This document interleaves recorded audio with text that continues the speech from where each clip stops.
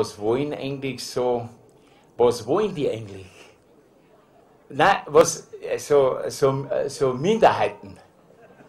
Na, was wollen die? Also, wenn du mich fragst, dass eine Minderheit ist im Grunde nichts anderes wie eine Minorität. Hey. Aber wenn du das einer sagst, dann wollen sie es nicht wahrhaben. Hey. Du, ich frage, die Minderheiten, ich weiß nicht, was wollen die? Sind sie sich immer noch nicht wenig genug? Wollen sie noch weniger werden?